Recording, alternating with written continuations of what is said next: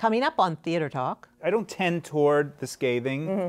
when something's just bad. But when I get the whiff of cynicism, it puts things into a different category. I am not obligated to promote the business of Broadway.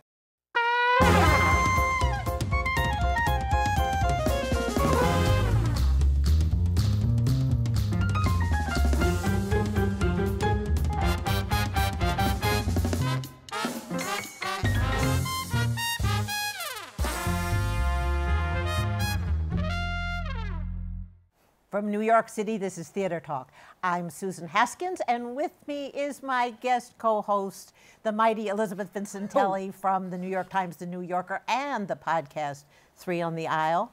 Mm-hmm. And this week we are going to talk about the 24 hour plays from the Roundabout Underground, which is happening April 9th. It is an extraordinary event that our guests will tell us about.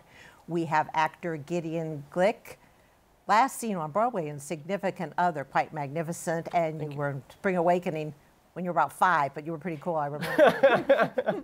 the wonderful Richard Kind, who was in The Big Knife, and many things, including the funniest episode of Curb Your Enthusiasm that I ever saw. and Jill Rafson, who is, I'm going to get your title right, Jill. You're pulling this whole thing together. You are the artistic producer of the Roundabout Underground, and you are assembling these people for this 24 hour plays benefit. Elisabeth. So I guess if you could explain to us, I, I mean, I realize we live in the uh, age of TV binging, but the 24 hour play does not last 24. Right. It's not a play that is 24 hours long. Right. It's the whole soup to nuts cycle takes 24 hours. So it's conceived, it goes from zero to 60 in 24 hours. Exactly. The, you won't have to watch a play for 24 straight hours. The event starts uh, the night before what you'll see on stage with all of these writers and directors and actors gathering and uh, sorting themselves out, uh, trying to give each other inspiration. And then the writers go off overnight, create these short plays, come back the next morning, share their scripts and then go take a nap. Um, and the directors and actors go off and put it all together, and then they perform it that night. So uh, it's a really exciting way of showing off all the creativity that's in the theater industry in New York in general, but also uh, for this particular version of the event, it's Roundabout Underground partnering with the 24 hour plays and showing off some of the artists we've been cultivating. Mm-hmm. So now, what, what, how many writers are involved in this? It's six playwrights. And are they, Gideon, are, are you assigned to certain writers or does this happen in the process? No, I think it happens kind of, I, I don't actually know night. how it works, but I assume they pick. I do. Richard Kind, you know how it works? It? Yeah. I do. You show up uh, every every artist shows up. Actors, writers, uh, the directors, they all show up. We all, probably are in a very big circle. It's very communal, and you pick a prop and a costume, and you you wear it. You stand up. You introduce yourself, and a writer will look at you, and then they'll you'll then the actors get assigned to different writers. We don't know who. The writers will then they have the toughest job. They stay up all night, they drink coffee, and they write a play. At 8.30 in the morning, we come, having had a decent night's sleep, and we start rehearsing. And we rehearse the play, we memorize the lines, we'll go over it and over it in this short amount of time, and then at night, I guess 7 or 8 o'clock, you put on a play. Richard, you have a lot of improv training. Yes. That you, that you can do this. And disdain for writers. And disdain. but but Gideon, is this, is this something you've dealt with before that you can do, just jump into a play and do it like that so fast? No, I'm terrible at memorizing, so I'm a little, I'm a little frightened. Um, but I'm good at paraphrasing. But I don't know. But that might be you, frowned upon. You do, yeah, of course it is. You you do try and do the writer's poetry. The writers have spent all night writing a play say the damn words. And they're you good know? writers. You try. You try. Are you going to mess up? Yes. Yeah. Yes. It's part of. The, sometimes it's part of the fun. Well, that would be the most wonderful thing, the mess ups, mm-hmm. wouldn't it? You know, you, we're not there for mess ups. Well, yes. I don't mean mess ups, but I mean the no, spontaneity. we we yes, the, the there is an energy that is different from opening night, even though it's opening and closing night. Uh, that one 20 minute segment is opening and closing night. Um, you hope you don't pull a Harvey Korman, Tim Conway, because you don't want to do that. You don't want to. What's the Harvey? Well, you, you, start laughing, you start oh, giggling, oh, oh. you mess up, yes, you start improvising. Um, but you, you, do try and stick to the script. Um, now, I'm going to say that I have not done the 24 hour plays, but I have done 24 hour musicals. Even harder. Did, did you, You would think, you would think, but rhythm of a song will help you memorize lines. So there is something. They made a documentary about the 24 hour musicals. What is it called? What- It's called One Night Stand. One Night Stand. Fantastic. And there's famous people in it, uh, like Christian Borle and Ra- Rachel Dratch and a, a lot of people. It's a fascinating, very quick from what happens, if you want to see what happens in the morning or, or the night before, what happens in the morning, the rehearsal process, and then how Rachel Dratch really screws up. Can I drop out? And she's a regular. She's done so Yeah. many of them. I know. The people will make mistakes. So, so Yeah. you, you, you had mentioned earlier that you have to pick a prop. I mean, you have, but I think the actors actually bring the props. So you I'm, I'm saying, you, Right. you bring that. Do they use it? Do they use that costume? Is that, uh, you see, I often wonder have the writers already written a play? That is frowned upon. We're Of course to is. encourage them. No. Of course, it's frowned upon. However, an ego is an ego, you know, and, and they want they want to put up something that's You're shattering all my illusions. I have a feeling it doesn't happen. I, I have a feeling they all play by the rules. But are we randomly assigned to the playwright, No, or the so- playwright picks? So it's like dodgeball. oh, no. No, that's, I don't know. when, Oh, right. like dodgeball back right. then. I don't Oh, think yeah, like thank it God I'm not there. Who here was picked first in dodgeball? Yeah, yeah, good luck. Who, who, who- who here between 42nd and 52nd Street was picked first for dodgeball? But I think part of the fun is that the the writers get inspiration from what the actors are showing them that night, and so hopefully. The people who get to watch that process as it's getting started will then see, oh, this actor said in the room, you know, I brought this rubber chicken and I know how to do a handstand. And it's fun to see how much of that ends up on stage later that night. So I think that's part of the excitement of it. It what is, but I, and but. I, I'm not a huge fan of that gimmick. Which gimmick? The uh, oh, I was inspired by the uh, uh, the rubber chicken that he brought Ah, I in. see, I see. An actor's persona, uh, or or maybe they know his work or what they're saying uh, that night, how they introduce themselves, is an energy that I really hope Well, they what's get. What's the point of the rubber chicken then? I mean, It- what's the point It's of the a prop? prop.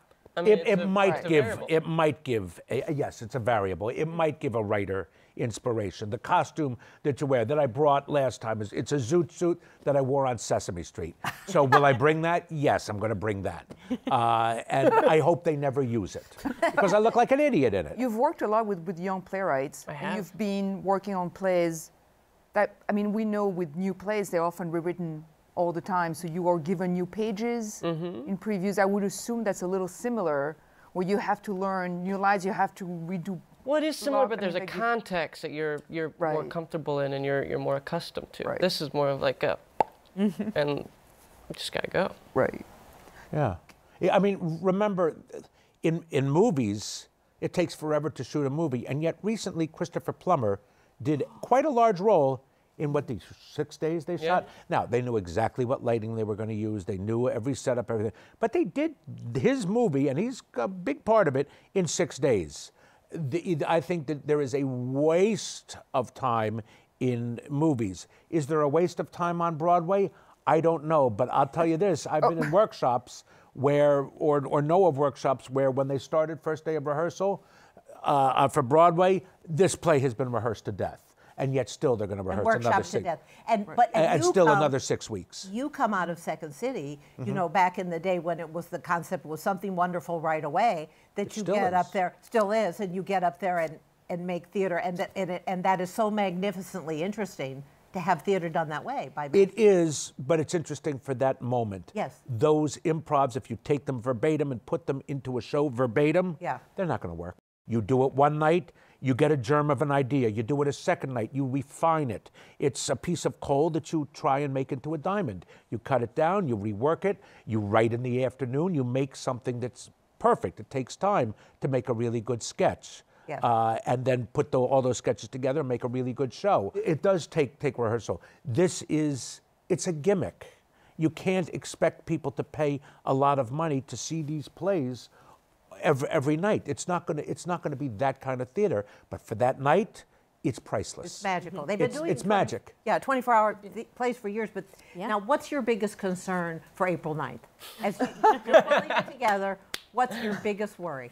Well, I think what's exciting is that none of the playwrights who are doing this have ever done the 24-hour plays before. And can you name the playwrights, or some of them at least? I mean, Yes. Josh Harmon. who Josh worked with, Harmon, yeah. who Gideon has worked with quite a bit, um, Meghan Kennedy, um, Ming Peiffer, Alex Lubischer, uh, Jiréh Holder, and I'm leaving someone out, uh, Jenny Rachel Weiner. And they're just this amazing collection of writers, all of whom have come up through the Roundabout Underground, our little black box program, where they had their professional debuts in New York.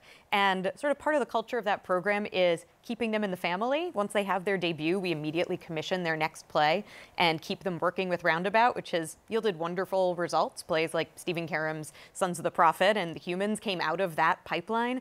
And, uh, and so these are all these wonderful early career playwrights trying their hand at this crazy night for the first time. If you commission a play Mm-hmm. and then they come up with a play that you don't care for, you have to do it? No, it's not. You're not obligated. We commission every single one of the Roundabout Underground playwrights, and so far, those of them who have finished writing their next play and turned them in, we've said yes to almost all of them. I think we're on our sixth or seventh one of those commissions that has turned into a production at the Laura Pels Theater where this event is. And and you don't have to name names.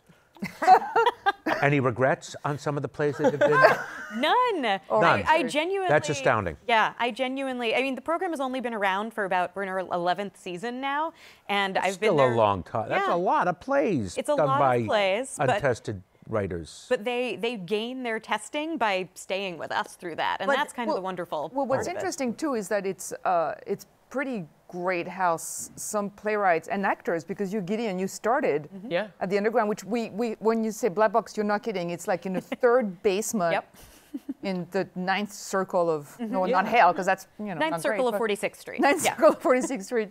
it is a truly a great aspect of a non of what a nonprofit theater should do. It's Yes. it's tremendous because we all know that the best work is done in small intimate spaces. That's where the, you know, but it's so expensive to take a piece, uh, first of all, a piece of real estate in New York City, and then uh, and, and put on a play. It's astounding paying these realtors and paying the the union people, and, and they all deserve their money. I'm not saying that. It's tough in this town, and that is why Roundabout is great. Yeah, it's amazing the, the empire that Todd Haimes has pulled together that, that he and then continue to support this kind of work as well as the big Broadway stuff they do. They could pay us fifty dollars more on Broadway. I'm just saying. The underground doesn't doesn't even make a profit, does it? No, the underground is built to lose money, Yeah. All right. basically. It's uh, but that's why you know it's all about balance in our seasons. You do those bigger Broadway shows, and then that allows us to do programs like the underground. We've got to wrap up because as we're taping this on March 23rd, 2018, Richard Kind, you are driving to Washington D.C. for my the three March children. for your three for the March for Our Lives mm-hmm. coming up tomorrow. Fantastic. Yep. Bravo. All right. Well, thank you so much. Thanks for so having we've us. got the the 24-hour plays at the Underground Theater. Am I saying 24-hour plays off Broadway at the Underground? At the Laura Pels Theater. Laura Pels on 46th Street. Get there to be one of the 400 in the audience. Mm-hmm. Thank you so much, Jill Rafson, Richard Kind, Gideon Glick for coming by. Thanks for having us. All right. And thank you, Elisabeth Vincentelli, Thank as you. always.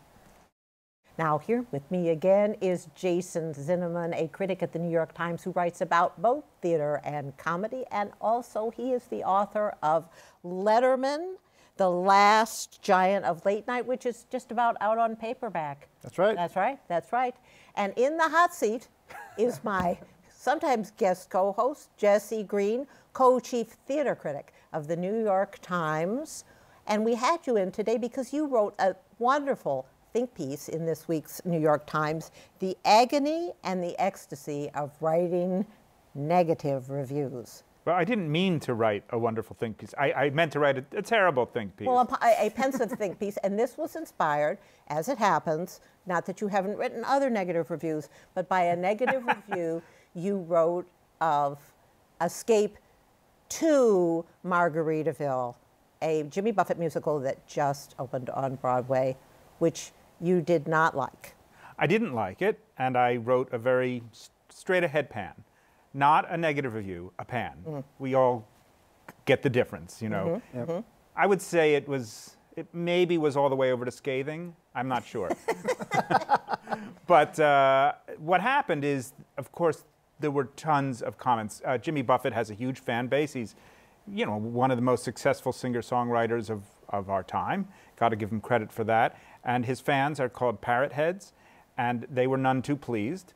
and uh, let it be known, as is their right, uh, often in comments on the Times website and elsewhere. And so the editors thought, well, you know, when we have an audience engaged in this way, let's keep them engaged and provoke them further. So they asked me to And you put myself on the line.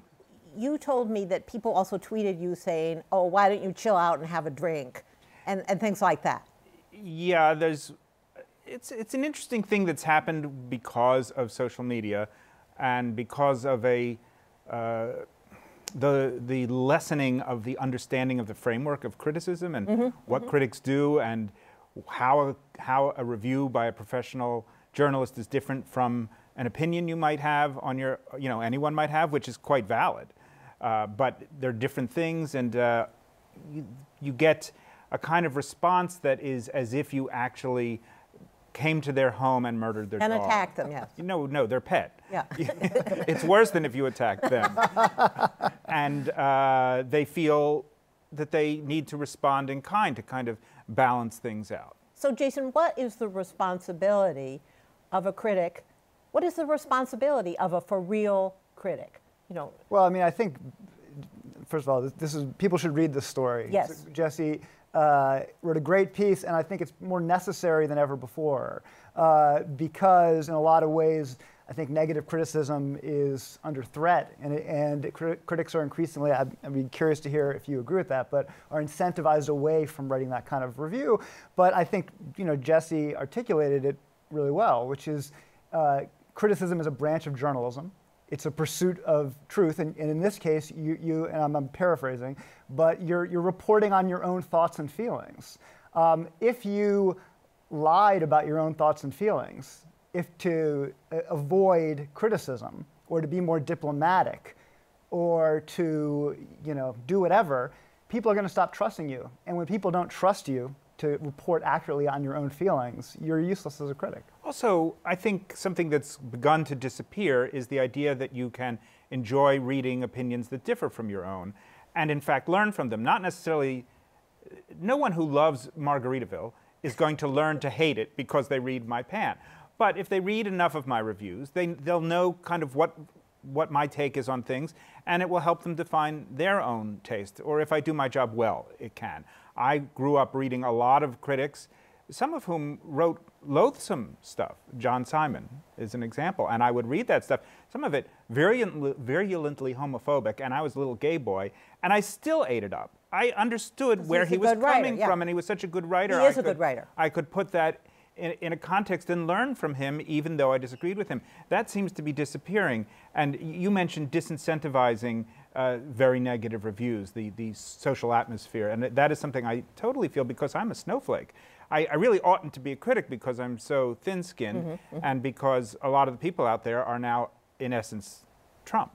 But that was a bold thing that you you said in the piece, and I've heard you say this before that you're thin-skinned, which for a critic is sort of a transgressive thing to, to confess to.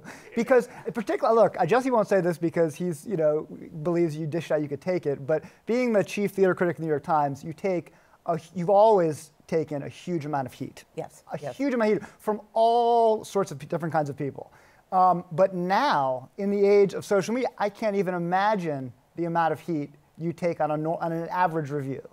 Well, I, I don't, honestly, I try to limit what I take in from that because it's not helpful. The smartest responses will, you know, won't be phrased in those ways. So I, and I get those via an email or sometimes on my Facebook page, although they found my Facebook page now, and that's filled with, you know, you and your Yale degree talking down to us. It's like, oh, please. talking down to us. Uh, oh, I, mean, I, I have to say, I think you like Margaritaville better than I did. But well, but- what's your pan? Well, no, I mean, my pants not interesting because I'm not in your position, except to say that I- I think it's so important that you're doing what you're doing in an age where. Uh, so many people are operating below the level of their own intel- intelligence to make a buck, and that and that Okay, and yes. that that's a yeah, I- I- problem. I, do want to say that I'm not, I, I don't tend toward the scathing Mm-hmm. when something's just bad. Uh, when something's uh, bad, but uh, I can appreciate the intentions of the author or the artists, or there's mitigating factors of some kind for me. I will look for those things to say as well as genuinely criticizing. But when I get the whiff, as I got a very powerful alcoholic whiff off of Margaritaville of cynicism, it puts things into a different category. I am not obligated to promote the business of Broadway. Look, people, many, many people will love the show. Yes. That has to be Yeah. acknowledged, and they should. I, I'm not troubled by people enjoying things I don't like. I wonder why they're so troubled about my not enjoying something they do like. But I think it's also worth mentioning, and Jesse does, that look, negative reviews sting, and artists spend years putting this stuff together. Critics, and Jesse is, you know, one of them, shouldn't take this uh, lightly, and he doesn't.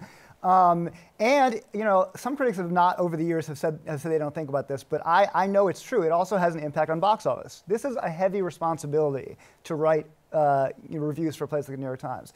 Um, that said, that it doesn't mean we don't have an obligation to write negative. If we don't write negative reviews, then we're you can't you can't trust what we're going to say. Yeah, I feel worse about reviews that, that come from the New York Times. I'm not going to name names, but you know where there's a work which I feel comes from the the soul of the artist, mm-hmm. and then it doesn't work out, and then you're obligated to not like it. Whereas I didn't feel that that this musical Margaritaville was coming. The, the, heartfelt song Margaritaville perhaps comes from Jimmy Buffett's soul, but I didn't feel No, it, it's a corporate soul. Yeah. creation of the enterprise that that creates resorts Mm-hmm. and all kinds of other things around the world. And good for them. That he has a net worth of five hundred million dollars or something like that. I don't know why all these people are so furious about the potential that you know some extra million might not come to him because of my review. But be that as it may, no one is saying you can't enjoy this show. I'm just telling you I didn't. Here's why, and you can place yourself uh, on the on the rainbow of appreciation based on knowing where I am. You were on the end of this because you were assigned by the New York Times to write the review for Hugh Jackman in The Last Showman, Or the Greatest Showman. The Greatest Showman, which I, which I think you dealt with very decorously, but you didn't particularly like it. You, you did not particularly like it, and I think you heard about that, didn't you? Oh yeah, I mean the thing is, I, like uh, I wrote a negative review of The Greatest Showman, uh, and like a lot of critics, and the review became a massive hit, and people loved it. The movie became a- the movie. I'm sorry, gave a massive hit, and I uh, the Times actually wrote a story about the kind of incongruity between the critical reception and the uh, audience reception, and I got some letters. I got one letter from a, a incredibly articulate high school student in New York who said, you know, at my high school they, they teach you that art matters, and uh, I, I read your review of The Greatest Showman, and you clearly are not capable of understanding how great this was. and then you, she excoriated me very articulately for, for two pages. And uh, at the end of it, I honestly, it was moving to me. And I thought, I did my job.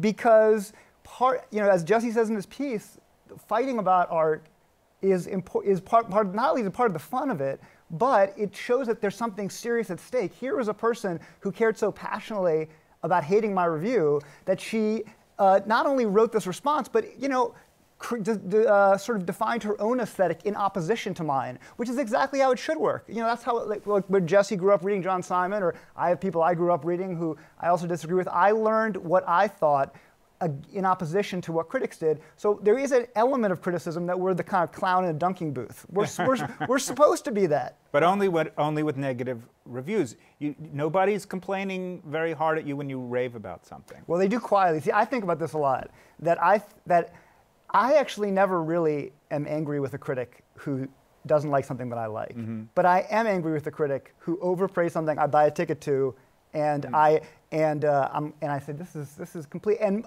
uh, most people I know, and I, I have a bias. I have a lot of critic friends who see a lot of culture, are actually more upset by a positive review of something. I go, Mr. X strikes again. I, I guess that's true, but I don't hear from them as much and not as Yes. virulently. But you brought up something I think is worth mentioning, which is uh, many people wrote to me uh, complaining that about something they feel a critic ought to do that I did not do, which is to report on the response of other people in the audience. So you've you've gotten these Yep. emails and things like that where they say, "Well, everybody else in the audience was having a good time. They were standing up at the end, spontaneous standing ovations and laughing like crazy, crazy throughout the whole thing, and you ignored all of that.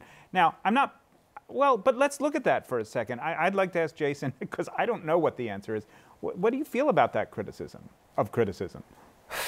I think if uh, if that was our job, we would just be reporters reporting what the audience said. We would have no use. I mean, I I, would be curious because this is to your point. Your last one of the many kind of interesting, provocative lines you is your your kicker, the last line, where you say the job is to be a theater snob, which is, I think, you know, in this age, actually a very bold thing to say. Um, yes, my editor called me and he said, "I love this piece. Are you sure you want to say that as your last line?" And I said, "Is it?" Is there something wrong with it? He said, No, it's very strong, but you're going to have that hung around your neck for the rest of your life. And he's right. More power to you, Jesse Green, co-chief theater critic of the New York Times. I was just thinking that you must get you must go to comedy things all the time where they're uh, laughing and hooting and raving, and you're thinking, you learn you can't trust the audience response. What do you write in your notebook when I write, help me, help me? What, what, kind of things do you write? If you take kill me. me, kill me, kill me, yeah, okay. kill me, yeah. okay. All right, very good. It's so lovely to see you, Jesse. Nice to be on this side of the table. Thank you, Jason. I look forward to the return of both of you very soon. Our thanks to the Friends of Theater Talk for their significant contribution to this production. Theater Talk is made possible in part by the Frederick Loewe Foundation, the Corey and Bob Donnelly Charitable Fund, the Noel Coward Foundation, Carrie J. Fries, the Dorothy Strelsin Foundation, and the New York City Department of Cultural Affairs. We welcome your questions or comments for Theater Talk. Thank you